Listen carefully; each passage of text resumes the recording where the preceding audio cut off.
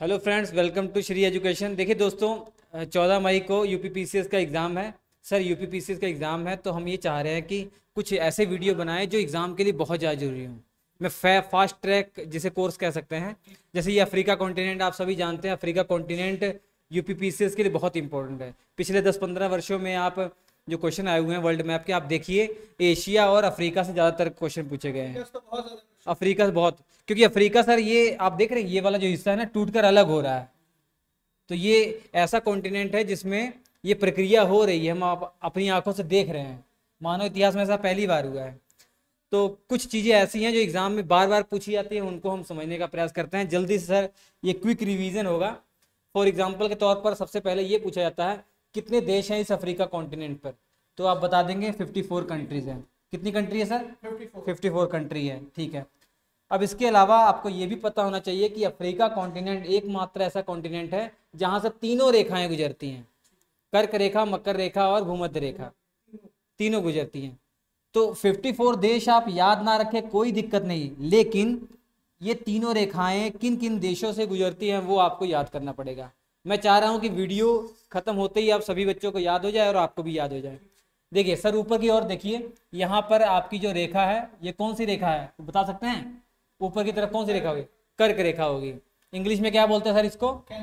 Tropic of cancer ठीक है। अब सबसे पहले देखिए ये जो क्षेत्र है वेस्टर्न सहारा वेस्टर्न सहारा इस पर इसके पचासी प्रतिशत हिस्से पर किस देश का कब्जा है बता सकते हैं? मोरक्को का कब्जा वेरी गुड ये मोरक्को देश है बच्चों। मोरक्को का कब्जा वेस्टर्न सहारा पर है। इसके लगभग पचासी प्रतिशत हिस्से पर मोरक्को कब्जा है। उसके बाद ये देश आप बता सकते कौन सा सर? मोरिटेनिया देश है। ठीक है वेरी गुड इसके बाद ये माली देश है। माली देश। इसके बाद ये अफ्रीका की सबसे बड़ी कंट्री है। अल्जीरिया।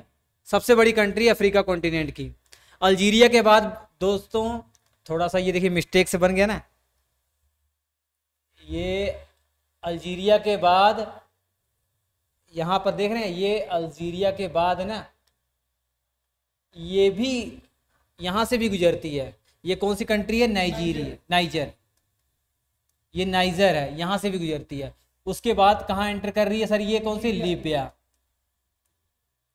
एक बात इंपॉर्टेंट है कि ये देश है चार्ड सर यहाँ पर ये कंट्री कौन सी है? चार्ड कंट्री है। तो चार्ड कंट्री के बारे में ये है कि चार्ड कंट्री का ऊपर वाला टिप आप देख रहे हैं। ये जस्ट इसको टच करता है। ये कर्क रेखा, ट्रॉपिक ऑफ़ कैंसर। तो इसीलिए कई किताबों में कर्क रेखा बताई गई है कि यहाँ से गुजरती है, कई किताबों में नहीं, क्योंकि जस्ट टच कर रहा है। ठीक है?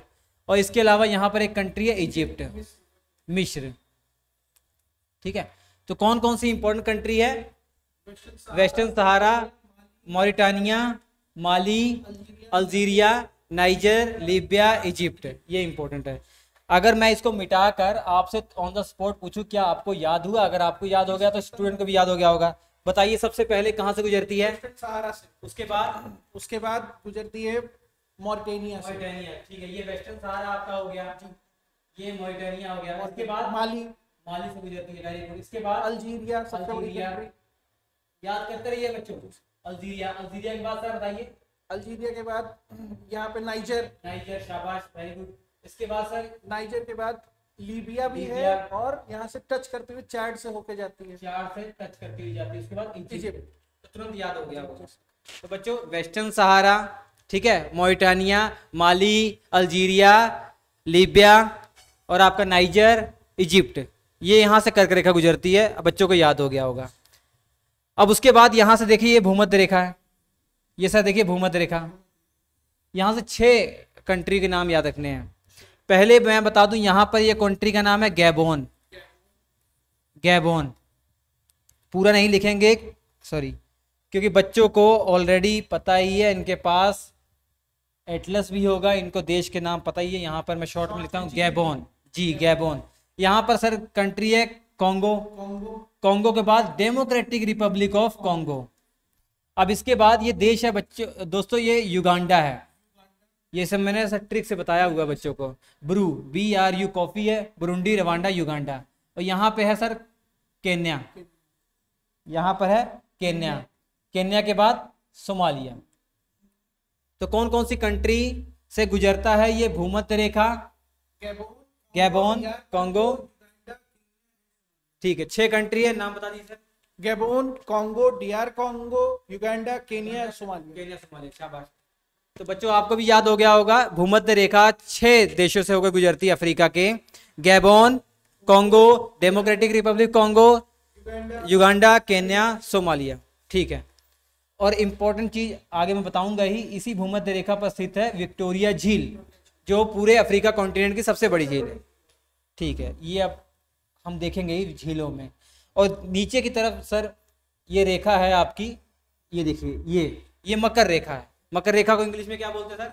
Tropic of Capricorn Tropic of Capricorn ये पाँच देशों से गुजरती है सर। यहाँ पर आपका जो देश हो जाएगा सर समझ नहीं आती होगी। यहाँ पर देश आपका हो जाएगा सर ये नेमीबिया है। नेमीबिया हो जाएगा ये बोत्सवाना हो जाएगा। उसके बाद ये सर साउथ अफ्रीका हो जाएगा। इसके बाद ये मोजाम्बिक हो जाएगा। और यहाँ पे मेडागास्कर हो जाएगा सर। ये पाँच कंट्री आपको याद होने चाहिए। पहले सर कौन सी कंट्री नामीबिया नेमीबिया उसके बाद? बोस्टवाना उसके बाद? साउथ अफ्रीका अफ्रीका के बाद? मेडागास्कर। उसके बाद एक और कंट्री है सर। सॉरी मोजाम्बिक फिर मेडागास्कर। ठीक है पाँच कंट्री के नाम याद रखने हैं। तो पाँच यहाँ छः पाँच ग्यारह और ग्यारह सात अठारह। अठारह। कंट्री याद हो गए सिंपल तरीके से। ठीक है सर? तो आसानी से बच्चों आप याद रख सकते हैं। तो चौवन टोटल देश है और तीन रेखाएँ जो गुजर रही है, इनसे कौन कौन से देश गुजरते हैं, ये बच्चों को अभी याद हो गया होगा। इतना स्पीड तो दिखाना पड़ेगा। इसके बाद सर क्वेश्चन पूछे जाते हैं यहाँ से झीलों के बारे में बहुत। क्योंकि आप सभी को पता है, ये वाला हिस्सा टूटकर अलग हो रहा है। ये वाला हिस्सा टूटकर अलग हो रहा है। अब इस हिस्से में जो टूटकर अलग हो रहा है ना, दो प्लेटें आपस में जब दूर जा रही हैं तो बीच का हिस्सा छिछला होता जा रहा है। तो ये एक गड्ढा नुमा हो जा रहा है ना तो ऊँचे क्षेत्रों से जो पानी यहाँ इकट्ठा हो रहा है बारिश का पानी इकट्ठा हो रहा है तो झील का निर्माण हो जा रहा। है तो उन झीलों का नाम आपको बताना है। सबसे पहले मैं आप बता दे रहा हूँ। देखिए सर सबसे पहले मैं यहाँ पर बना दे रहा हूँ। दरार जो हकीकत में जो दिखाई दे रही है कैसे है? रिफ्ट वैली देखिए ये ऐसी एक यहाँ पर है और उसके बाद एक यहाँ पर ऐसे। ऐसे है। अब इन रिफ्ट वैली पर कौन कौन से रिफ्ट वैली पर कौन कौन से झीलें पाई जाती हैं? सबसे पहले यहाँ एक कंट्री है सर, जिबूती। जिबूती कंट्री में एक झील पाई जाती है, असल लेक। असल, इसका नाम क्या है सर? असल। ठीक है, असल लेक है, वो जिबूती में है, वो भी इस दरार का हिस्सा है। इसके बाद ये देश इथोपिया है। यहाँ पे एक एक झील पाई जाती है जिसका नाम है ताना झील। ताना झील। ताना बहुत इंपॉर्टेंट है। आगे मैं नील नदी के बारे में बताऊँगा तो उसमें इसका ज़िक्र आएगा क्योंकि ताना झील से ही एक नदी का उद्गम होता है ब्लू नील नदी। ब्लू नाइल ब्लू नाइल नदी है। ब्लू नाइल रिवर का यहाँ से उद्गम होता है और जो नाइल रिवर है ये दो रिवर का कॉम्बिनेशन है। कौन कौन सी रिवर सर? व्हाइट नाइल और ब्लू नाइल व्हाइट नाइल नदी और ब्लू नाइल नदी। यहाँ पर जो आपका एक झील है, विक्टोरिया झील, यहीं से निकलती है व्हाइट नील नदी और ताना झील से निकलती है ब्लू नाइल नदी। अभी फ़िलहाल बच्चों को ये जानना है कि ताना झील कहाँ पर है, इथोपिया में है। और इसके, इससे जुड़ा हुआ एक फैक्ट है कि ये किस नदी का उद्गम यहाँ से होता है तो White Blue Nile river, Blue Nile river, ठीक है। उसके बाद एक और यहाँ पर जो केन्या देश है केन्या में एक आपका लेक है ऊपर नहीं है ये यहाँ पर है ये लेक है। इस लेक का नाम याद होना चाहिए तुर्काना। तुर्काना। तुर्काना। तुर्काना लेक तो तीन लेक्स ऊपर वाली दरार पर आपको याद रखना है जिबूती में असल लेक है। असल लेक इथोपिया में ताना लेक। ताना लेक और केन्या में? तुर्काना तुर्काना लेक। तीन लेक्स आप सभी को याद हो गए होंगे। ठीक है। उसके बाद नीचे की ओर आते हैं थोड़ा सा। नीचे की ओर आते हैं और ये एक बहुत बड़ी झील है। पूरे अफ्रीका कॉन्टिनेंट की सबसे बड़ी झील है। सबसे बड़ी। सबसे बड़ी झील। पहली इंपॉर्टेंट बात यह है कि पूरे अफ्रीका कॉन्टिनेंट की सबसे बड़ी झील है। इस झील का नाम क्या है? Victoria lake. Victoria lake. Victoria lake इसका नाम है। क्या नाम है? Victoria lake. Victoria lake. ये पूरे अफ्रीका कॉन्टिनेंट की सबसे बड़ी झील है। और दूसरी इंपॉर्टेंट बात ये मीठे पानी की झील है। Fresh water fresh water lake यानी कि मीठे पानी की हाँ। और ये सबसे बड़ी भी है। बड़ी भी है। पूरे विश्व में अगर तुलना करें तो इसका रैंक कौन सा आता है तीसरा। तीसरा रैंक है। तीसरे नंबर पर सबसे बड़ी झील है पूरे विश्व में अगर तुलना की जाए। और तीसरी इंपॉर्टेंट बात यह है कि तीन देशों में फैली हुई है। यहाँ पर युगांडा है और बगल में ये केन्या है और नीचे तंजानिया है। तंजानिया केन्या और युगांडा में ये फैली हुई है। चौथी इंपॉर्टेंट बात भूमध्य रेखा पर स्थित है। भूमध्य रेखा पर स्थित है। ये बहुत इंपॉर्टेंट बात है। और पांचवी इंपॉर्टेंट बात यह है कि ये इस रिफ्ट वैली का हिस्सा नहीं है। अच्छा सर रिफ्ट वैली का पार्ट भी नहीं है। रिफ्ट वैली का पार्ट नहीं है। ये रिफ्ट के कारण नहीं बनी हुई है। ये जो झीलें हैं, ये तो रिफ्ट के कारण बनी हुई हैं, लेकिन ये झील रिफ्ट के कारण नहीं बनी हुई है।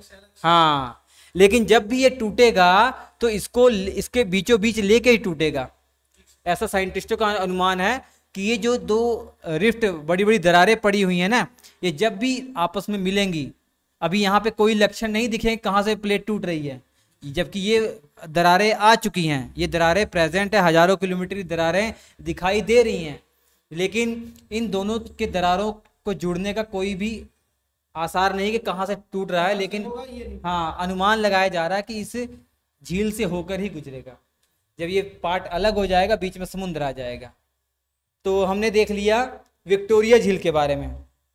अभी हम आ रहे हैं दूसरी जो रिफ्ट है इसकी चर्चा करने के।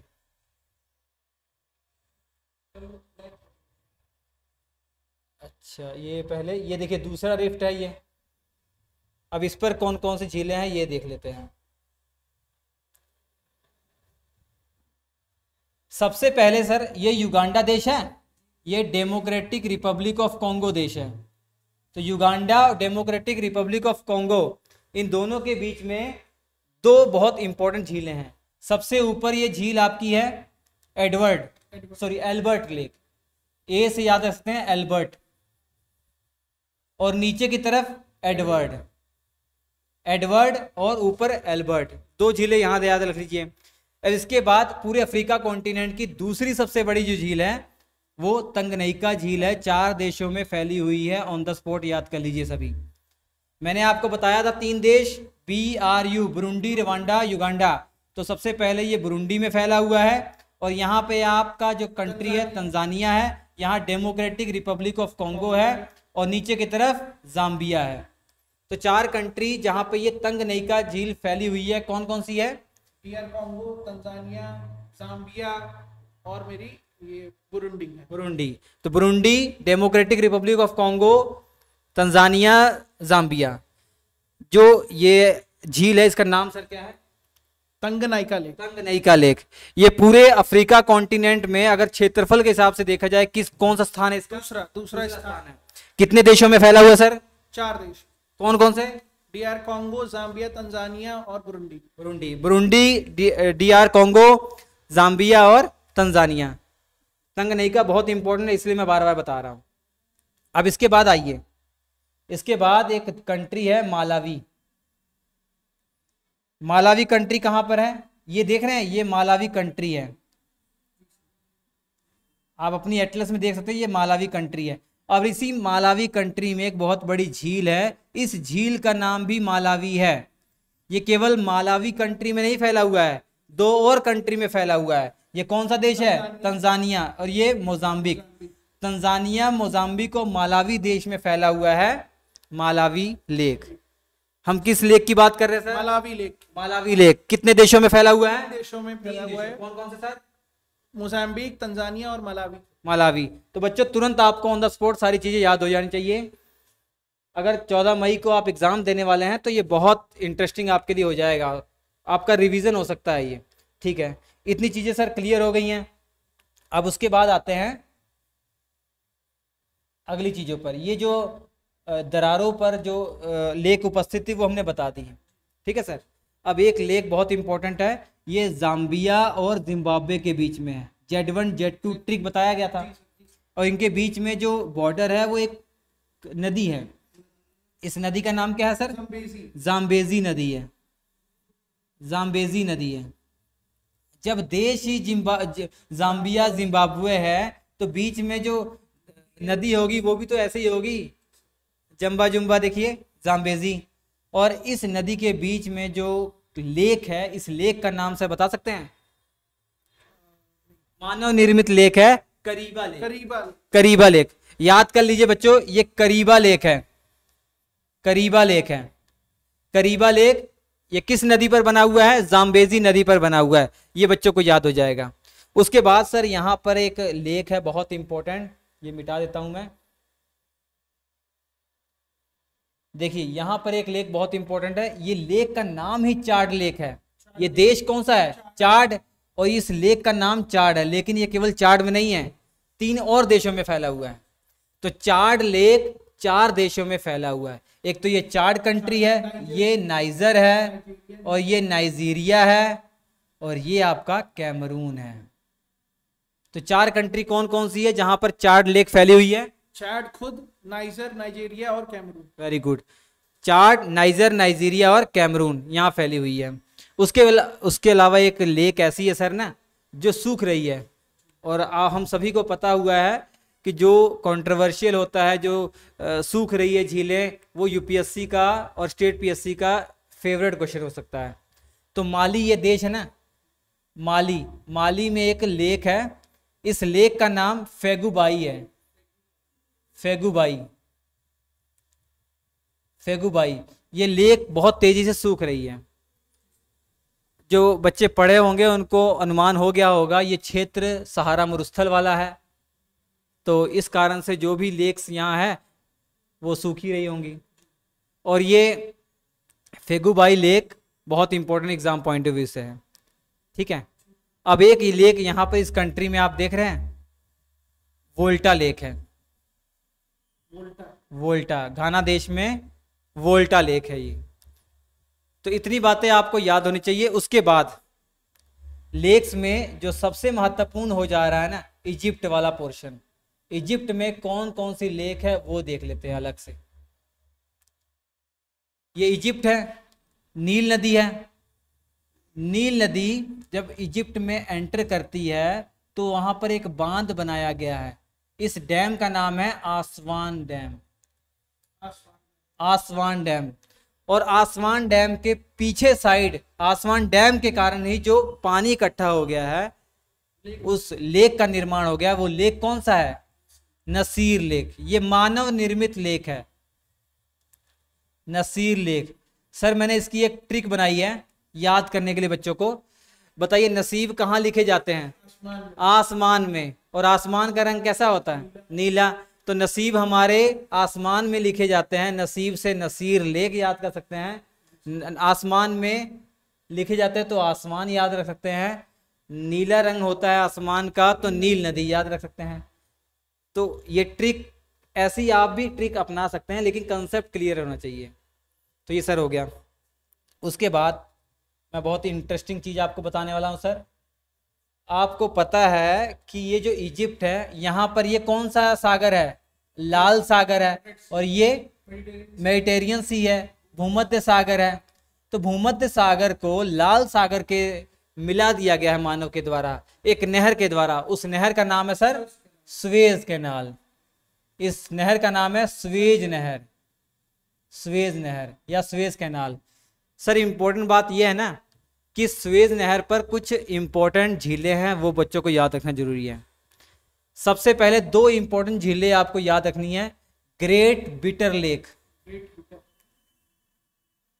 great bitter lake और उसी के जस्ट नीचे, दक्षिण की तरफ़ लिटिल बिटर दोनों का नाम आप याद रख सकते हैं। ठीक है? और ग्रेट बिटर लेक के ऊपर है मंजाला मंजाला मंजाला। मंजाला। ठीक है? मंजाला और ग्रेट बिटल लेक के बीच में एक छोटी सी झील है। याद रखना, चाहें याद रख सकते हैं, अदरवाइज़ छोड़ सकते हैं। टिमशा।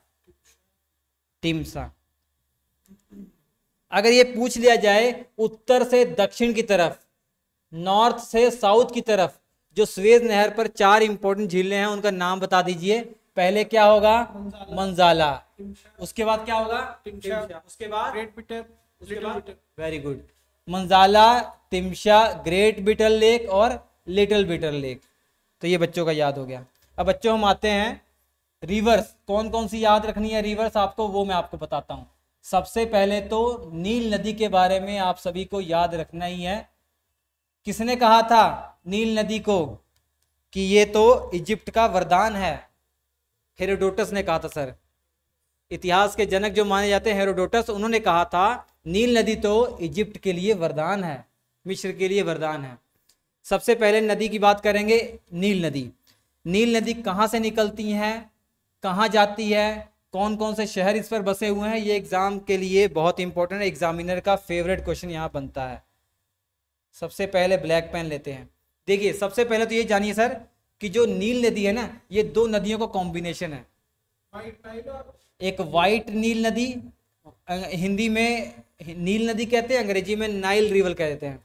तो वाइट नाइल नदी और ब्लू नाइल रिवर का कॉम्बिनेशन है ये नाइल रिवर अब ब्लू नाइल नदी कहाँ से निकलती है और वाइट नाइल नदी कहाँ से निकलती है, ये समझने वाली बात है। आपने पढ़ा विक्टोरिया लेक के बारे में। विक्टोरिया लेक तो विक्टोरिया लेक से जो रिवर निकलती है वो वाइट नाइल रिवर है। विक्टोरिया लेक से निकलने के बाद सबसे पहले किस देश में जाती है दिखाई दे रहा है? ये कौन सा देश है? युगांडा। युगांडा है। तो युगांडा की जो कैपिटल है ना सर कंपाला वो इसी नदी किनारे बसा हुआ है। ये एग्ज़ाम में पूछा जाता है। युगांडा की कैपिटल कंपाला इसी नदी किनारे बसा हुआ है। ये नदी सफ़र तय करती हुई युगांडा से एंटर कर जाती है साउथ सुडान में। साउथ सूडान की जो कैपिटल जूबा है सर ना, वो भी इसी किनारे बसा हुआ है। अब साउथ सूडान के बाद ये सर एंटर कर जाती है सूडान में। खारतूम तक तो अकेली जाती है, लेकिन खारतूम, जो कि कैपिटल है सूडान की, यहाँ पर इसको एक और नदी मिल जाती है। वो कोई और नदी नहीं, वो ब्लू नील नदी है। ब्लू नाइल रिवर है। वो कहाँ से निकल रही है वो देखते हैं। ये आपका देश इथोपिया है। इथोपिया में मैंने एक झील बताई थी, ताना झील। ताना झील से नदी कौन सी निकल रही है? Blue Nile river. और ब्लू नाइल रिवर किस, किसके साथ मिल जाती है? वाइट नाइल के। कहाँ पे? खारतूम। जैसे हमारा प्रयागराज है, गंगा और यमुना का संगम होता है, वैसे ही ब्लू नाइल और वाइट नाइल का संगम कहाँ पर होता sir? Khartoum. Khartoum is the capital of Sudan बहुत इंपॉर्टेंट बात है ये, सर। ठीक है? और ये जो दोआब का क्षेत्र है दो नदियों के बीच का क्षेत्र, इतना उपजाऊ है सर ये जब डिटेल में पढ़ाएँगे, सारी चीज़ें और क्लियर होंगी। अभी तो रिवीजन है। बच्चे समझ भी सकते हैं स्टेट पीएससी की तैयारी कर रहे हैं तो आप समझ भी सकते हैं। इसके बाद दोनों नदियाँ जब मिल जाती हैं तो किस नाम से जानी जाती है? नाइल रिवर या नील रिवर के नाम से जानी जाती है। और जाकर ये गिरती है कहाँ पर, सर? मेडिटेरियन सागर। ठीक है, भूमध्य सागर में गिर जाती है। तो ये कंसेप्ट क्लियर हो गया होगा नाइल रिवर नाइल रिवर किन किन नदियों का संगम है सर ब्लू नाइल और व्हाइट नाइल व्हाइट नाइल का उद्गम कहाँ से होता है? तंगनाइका लेक से. नहीं सर विक्टोरिया लेक से. विक्टोरिया लेक से. अगर मैं पूछूँ ब्लू नाइल रिवर का ताना ताना लेक. ताना. ताना लेक कहाँ है? इथोपिया में. इथोपिया. क्या ये ड्रिफ्ट का हिस्सा है? हाँ ड्रिफ्ट का हिस्सा ड्रिफ्ट का हिस्सा है. क्या विक्टोरिया लेक ड्रिफ्ट का हिस्सा विक्टोरिया नहीं. विक्टोरिया लेक ड्रिफ्ट का हिस्सा नहीं है। ठीक है? इन दोनों का संगम कहाँ होता है sir? Khartoum. Khartoum is the capital of Sudan. Sudan. तो ये बातें क्लियर होगी होंगी। सभी बच्चों की नील रिवर या नाइल रिवर के बारे में। आई थिंक सर बच्चों को क्लियर हो गया होगा। अब ये नदी हो गई। दो और बहुत इंपॉर्टेंट नदी है। ये आपकी कौन सी रेखा है? भूमध्य रेखा। भूमध्य रेखा को दो बार काटने वाली नदी कॉन्गो है, वो कहाँ पर है? अफ्रीका में ही है। कॉन्गो, ये देश कौन सा है? डेमोक्रेटिक रिपब्लिक ऑफ़ कॉन्गो इसी देश से निकलती है, सर। इसी देश के दक्षिण की ओर से ये नदी निकलती है। इस नदी का नाम क्या है? कांगो। एग्ज़ाम में पूछा जाता है कि भूमध्य रेखा को, इक्वेटर को दो बार काटने वाली रिवर कौन सी है? कांगो। तो ये नदी की खासियत मैं बता रहा हूँ, सर। ये डेमोक्रेटिक रिपब्लिक ऑफ़ कांगो से निकलती है। ये उत्तर की ओर जाती है, उसके बाद यू टर्न ले लेती है, क्योंकि यहाँ का जो क्षेत्र है, वो इसी हिसाब से है कि जब ये आपका पश्चिम दिशा में जा रही है ना तो ढलान जो है वो दक्षिण की ओर हो जा रही है। तो इसी कारण से ये दक्षिण की ओर मुड़ जा रही है यू टर्न ले रही है। उसके बाद कुछ किलोमीटर, कुछ हज़ारों किलोमीटर तक democratic of sorry, democratic republic of Congo और कॉन्गो का बॉर्डर का काम करती है। ये देख रहे हैं? सर, यहाँ से लेकर यहाँ तक ये दो देशों के बॉर्डर का काम कर रही है। और ये इंटरनेशनल लॉ भी कहता है, अगर कोई वाटर बॉडी दो देशों के बीच में है तो वही बॉर्डर होगा इन दोनों देश का। ठीक है? लेकिन उसके बाद अचानक ही ये फिर से एंटर कर जाती है सर डी आर कॉन्गो में। उसके बाद ये किसके साथ बॉर्डर बना रही है सर? लुआंडा ये देश का नाम क्या है? लुआंडा उसके बाद ये कहाँ पर गिर जा रही है? कौन सा सागर है ये? अटलांटिक महासागर। अटलांटिक और इधर कौन सा है? Indian ocean. हिंद महासागर है ये तो। ठीक है। तो दो बार भूमध्य रेखा को काटने वाली नदी कौन सी है? कॉन्गो। कॉन्गो। कितने देशों में सर बहती है ये मुख्य रूप से? कॉन्गो डीआर कॉन्गो और लुआंडा। मुख्य रूप से डीआर कॉन्गो कॉन्गो और लुआंडा। ज़्यादातर इसका हिस्सा डीआर डीआर कॉन्गो में ही है। ठीक है। इसके बाद सर मैं आपको एक और इंटरेस्टिंग क्वेश्चन बताने वाला हूँ कि कर मकर रेखा को दो बार काटने वाली नदी वो भी पता है? अफ्रीका में ही है। नाम बता सकते हैं आप? लिम्पोपो। मकर रेखा को दो बार काटने वाली नदी कौन सी है? लिम्पोपो। अभी तुरंत याद कर लीजिए। लिम्पोपो नदी कहाँ से निकलती है? थोड़ा ध्यान दीजिए मैप में। ये कौन सी कौन सा देश है? South Africa. देश साउथ अफ्रीका है ना? साउथ अफ्रीका से निकलती है। उसके बाद ये जो देश है बोत्सवाना इसके साथ बॉर्डर बनाती है। अब इसके बाद जो देश नेक्स्ट वाला आता है ये कौन सा है? जिम्बाब्वे जिम्बाब्वे के साथ बॉर्डर बनाती है। और जिम्बाब्वे के साथ बॉर्डर बनाने के बाद ये किस देश में एंटर कर जा रही सर? मोजाम्बिक में एंटर कर जा रही है। तो कितने देशों में ये नदी बहती है अगर मैं पूछ लूँ सर आप क्या बताएँगे? चार देश। कौन कौन से sir? South Africa Botswana Zimbabwe और मोजाम्बिक मोजाम्बिक ठीक है। अब इसके बाद ये फाइनली कहाँ पर अपना पानी गिरा देती है? इंडियन ओशियन में। सर ये याद हो जाएगा? ये नदी का नाम क्या है सर? नदी का नाम लिम्पोपो। मैं लिख दे रहा हूँ यहाँ पे लिम्पोपो। मैं ये वीडियो इस हिसाब से बना रहा हूँ कि आपका भी और सभी बच्चों का। तैयार हो जाए और ये वीडियो खत्म होते ही कोई भी फैक्ट ऐसा ना हो जो आप भूल रहे हैं। बात तभी बार बार रिपीट कर रहा हूँ सर। लिम्पोपो नदी किसको दो बार काटती है? मकर रेखा। मकर रेखा को। ये मकर रेखा देखिए यहीं पे तो है। आप ही ने तो बताया था कि मकर रेखा कहाँ कहाँ से गुजरती है? Namibia Botswana South Africa Mozambique और मेडागास्कर। ठीक है सर? ठीक है ये तीन नदियाँ याद हो गई? कौन कौन सी? लिम्पोपो हो गई कॉन्गो हो गई और नाइल। नाइल होगी। नाइल सर किन किन नदियों का संगम है? White Nile blue Nile. ठीक है ताना झील से कौन सी नदी निकलती है? Blue Nile. ठीक है वेरी गुड और भूमध्य रेखा को दो बार काटने वाली नदी? कॉन्गो कॉन्गो इतनी बातें क्लियर हो गई होंगी। चलिए उसके बाद कुछ और कम महत्वपूर्ण नदियों के बारे में मैं आपको बता दे रहा हूँ। देखिए साउथ अफ्रीका में आइए। ये साउथ अफ्रीका है सर। यहाँ पे एक छोटा सा देश जो साउथ अफ्रीका के द्वारा लैंडलॉक्ड है इसका नाम है लिसोथो। इस देश का नाम है लिसोथो। तो लिसोथो से ये नदी निकलती है। और ये साउथ अफ्रीका में एंटर करती है और नेमीबिया के साथ बॉर्डर बनाती हुई अटलांटिक महासागर में गिर जाती है। इस नदी का नाम है ऑरेंज। इस नदी का नाम है ऑरेंज। कितने देशों से गुजरती है सर? तीन देशों लिसोथो साउथ अफ्रीका और Namibia. Very good Lesotho South Africa Namibia. नदी का नाम है ऑरेंज। ऑरेंज नदी। ठीक है सर? अब इसके बाद एक और अ, मैं आपको बताने जा रहा हूँ नदी के बारे में। ये नदी है सर नाइजर। नदी का नाम क्या है सर? नाइजर। नाइजर। देखिए यहाँ से निकलती है।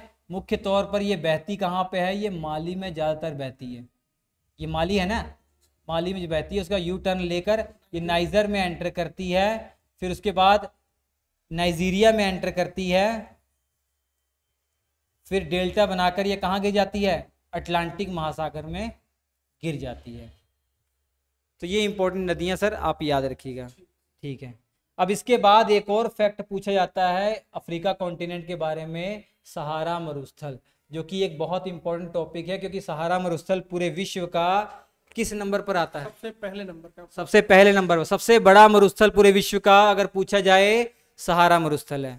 ये सबको पता है। कितने देशों में फैला हुआ है कौन कौन से देशों में फैला हुआ है, ये इंपॉर्टेंट फैक्ट है, ज़बरदस्त फैक्ट है। सबसे पहले देखिए, मैं आपको बता रहा हूँ, याद करने का तरीका। ये वेस्टर्न सहारा है सर ये मोरक्को है। यहाँ पे कौन सी कंट्री है?